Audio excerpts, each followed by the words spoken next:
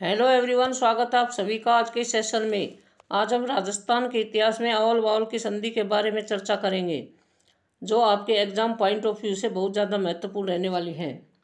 आवल बावल की संधि आवल बावल की संधि कब हुई थी? चौदह सौ बावन तिरपन में। चौदह सौ बावन तिरपन में आवल बावल की संधि हुई। यह संधि मेवाड़ के राणा कुंभा और मारवाड़ के राव जोधा के बीच हुई। यह संधि मेवाड़ के राणा कुंभा और मारवाड़ के राव जोधा के बीच हुई। यह संधि सोजत पाली नामक स्थान पर हुई थी। यह संधि कहाँ पर हुई थी? सोजत पाली नामक स्थान पर हुई थी।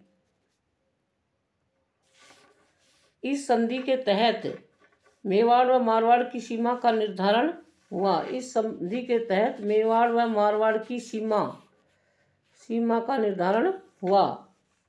इस संधि के तहत मेवाड़ व मारवाड़ की सीमा का निर्धारण हुआ।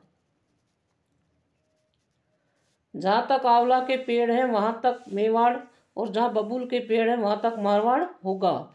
जहाँ तक आंवला के पेड़ हैं, वहाँ क्या होगा? मेवाड़। और जहाँ तक बबूल के पेड़ हैं, वहाँ पर क्या होगा? मारवाड़।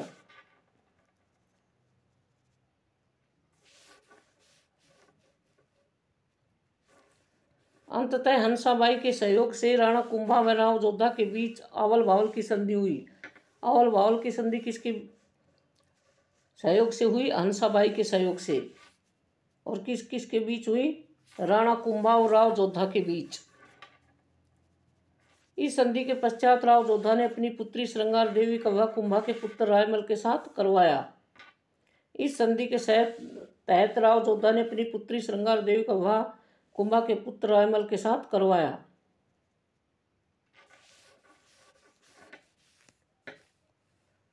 पर्सन प्रसिद्ध आवल भावल की संधि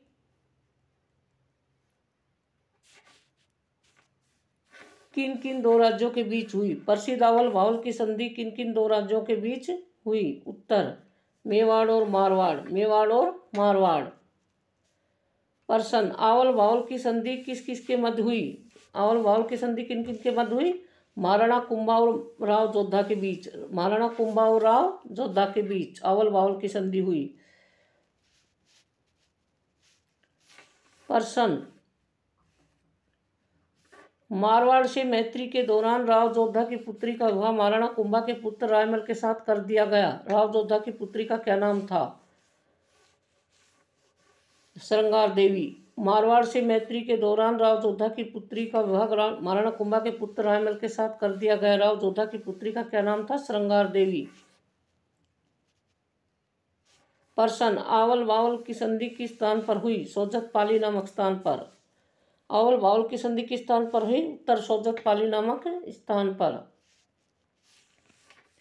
पर्सन, आवल बावल की संधि किसके सहयोग से हुई? आवल बावल की संधि किसके सहयोग से हुई? उत्तर हंसाबाई। किसके सहयोग से हुई? हंसाबाई। नोट, जहाँ तक आंवला के पेड़ है, वहाँ तक मेवाड़ और जहाँ तक बबूल के पेड़ है, वहाँ तक मारवाड़ होगा। जहाँ तक आंवला के पेड़ है, वहाँ तक मेवाड़ और जहाँ तक बबूल के पेड़ है, वहाँ क्या होगा? मारवाड़ होगा। हमारे चैनल को लाइक, शेयर और सब्सक्राइब करें। जय हिंद, जय भारत।